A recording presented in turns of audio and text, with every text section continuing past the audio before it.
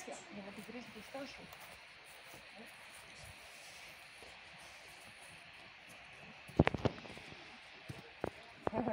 Δεις γιατί πετάς στραβά; Από εδώ πετάς εκεί. Εδώ, εδώ, εκεί. Καλύτερο, μπράβο. Μπράβο. Μπράβο σου, Λαλή. Νικολέτα μου, θα θέλω να μας πεις δύο λόγια. Βρισκόμαστε εδώ στο, σε έναν εξωτερικό χώρο και βλέπω ότι προπονείσαι μαζί με την ε, δασκάλα σου. Τι έχεις να μου πεις; Είμαι πολύ χαρούμενη αλλά και στεναχωρημένη ταυτόχρονα γιατί κλείσαμε και δεν μπορούμε να κάνουμε πολλά πράγματα στο σπίτι. Ε, είμαστε λίγο πεσμένες. Όμως, εγώ βλέπω μια ηλιόλουστη μέρα ότι βοηθάει να κάνουμε την άσκησή μας μαζί με την κυρία μας και μην χαλάσει ακόμα και γιατί βλέπω ότι έρχονται, έρχεται κακοκαιρία σε καμιά δύο μέρες από ό,τι μας έχουν πει. Ναι. Από ό,τι βλέπω, καλημέρα. Καλημέρα. Πείτε μας δύο λόγια, βλέπω δύο μαθήτριές σου εδώ να προπονήσετε. Ε, κοιτάξτε, τα παιδιά ψυχολογικά είναι πολύ άσχημα. Ε, δεν έχει αυτή η καραντίνα καμία σχέση με την προηγούμενη. Είναι πιο βαριά στην ψυχολογία όλων νομίζω, μικρών μεγάλων. Ε, βάσει τη σκία μπορούμε δύο αθλητές με έναν προπονητή να είμαστε σε εξωτερικό χώρο. Οπότε επειδή είχε μια ωραία μέρα σήμερα, είπα έτσι λίγο επειδή τα είδα πολύ ταλαιπωρημένα τα παιδιά και πολύ αποκαρδιωμένα.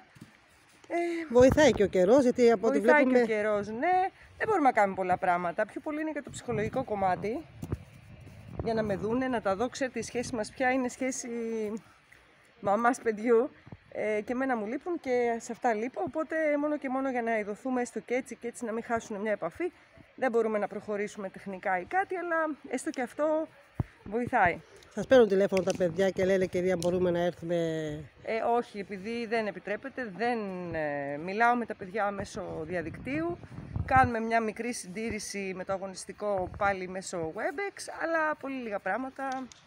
Άρα κα- καμιά καραντίνα δεν μας κρατάει, κανένας κορονοϊός δεν μας κρατάει. Σίγουρα δεν μας κρατάει και πρέπει να μην το βάζουν κάτω τα παιδιά. Η αλήθεια είναι ότι κάτι πρέπει να γίνει με το διαδίκτυο, γιατί πάλι παρατήρησα, αν και το είχα πει ότι την προηγούμενη φορά, ότι είναι πάρα πολλές οι ώρες. Πάρα πολλές οι ώρες που τα παιδιά είναι σε μια οθόνη.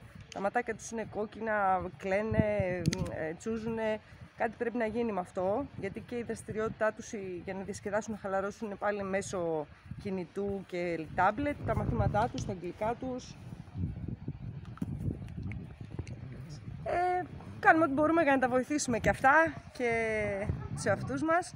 Λίγο υπομονή ακόμα. Πιστεύω ότι αν το εμβόλιο βγει στην παγκόσμια κοινότητα και όλοι οι άνθρωποι παγκοσμίως αντιληφθούν ότι αυτό το πράγμα έχει τελικά θεραπεία, όλο αυτό το κλίμα θα αλλάξει. Πρέπει να αντέξουμε και πρέπει να τηρήσουμε στο έπακρο τους κανόνες, γιατί δεν πρέπει να μας βρίσκει αυτός ο ιός. Αυτή είναι, αυτό είναι το όπλο μας και πρέπει να το κάνουμε. Από ό,τι βλέπω έρχεται και το εμβόλιο, ίσως ε, εκεί θα μας δώσει τη λύση. Δεν νομίζω ότι υπάρχει άλλος τρόπος αυτή τη στιγμή. Ε, και μόνο ότι θα βγει, άσχετα αν θα αργήσουν κάποιοι να εμβολιαστούν ή δεν θέλουν ή δεν κάνουν, μόνο και μόνο ότι στη συνείδηση των ανθρώπων παγκοσμίως θα υπάρχει ότι υπάρχει θεραπεία γι' αυτό, θα αλλάξει η νοοτροπία και η οικονομία και όλα. Αλλά τώρα πρέπει να κάνουμε υπομονή, πρέπει να αντέξουμε και πρέπει να μαζευτούμε. Να είσαι καλά. Να είστε καλά.